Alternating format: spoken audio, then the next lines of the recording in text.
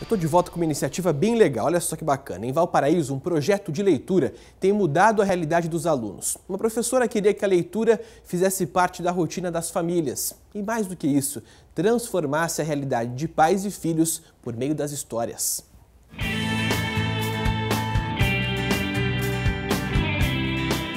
Na Escola Estadual da Vigolia, no bairro Miguel Vilar, em Valparaíso, interior de São Paulo, a sala de leitura é bem frequentada pelos alunos. Quem vem aqui sabe, conhecimento nunca é demais. Como você lê, você percebe que você pode ser alguém melhor no futuro.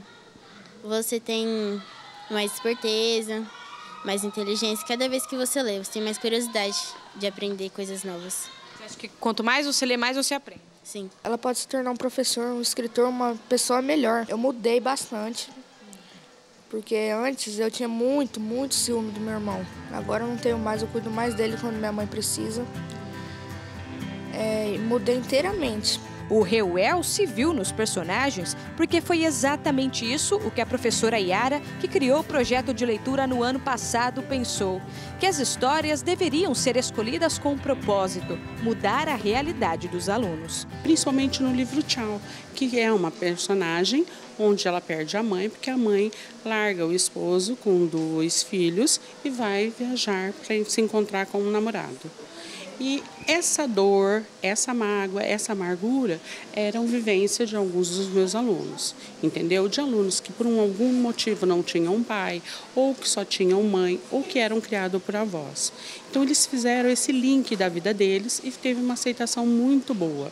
Alguns conseguiram abordar isso e abrir aqui com os amigos, outros levaram para a família e né, citaram isso na família. Não é por acaso que o projeto ganhou o nome Uma Viagem Interior. Foi realmente uma viagem interior, foi um ícone para eles, foi alguma coisa que melhorou eles para esse mundo globalizado, adaptou eles, interagiu ele nesse sistema.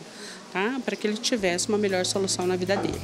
A iniciativa da professora tem dado certo. Além de dividir a leitura com os colegas de sala de aula, os alunos também têm compartilhado as histórias em casa. A prova disso é que os familiares voltaram aqui para a escola para contar como os livros têm transformado a rotina da família a irmã da Vitória que o diga. Lá em casa a gente conseguiu se aproximar mais, conseguiu aproximar a mãe, conseguiu aproximar é, a irmã, nós conseguimos nos ter, ter o nosso tempo, né? E isso foi ótimo também porque a gente viu um bom desempenho também da parte da Vitória. O diálogo aumentou entre a gente, a gente ficou mais próxima assim, é, tanto com eu e minha irmã, quanto minha mãe, meu pai também e ajudou bastante, eu gostei bastante do projeto. Por meio do projeto, o Adrian conheceu o livro de uma autora brasileira e logo apresentou para a mãe.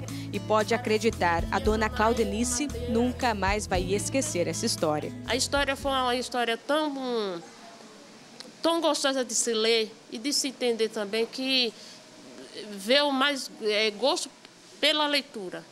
Ah, tanto para mim como para eles. Quando eu li esse livro, Tchau, eu parei de ter ciúmes dos meus irmãos, dos meus primos e da minha irmã, que amor de mãe é para todos.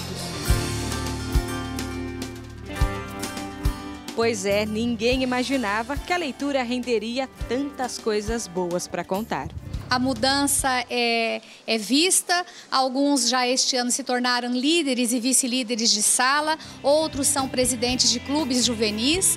Então, isso prepara para o protagonismo juvenil.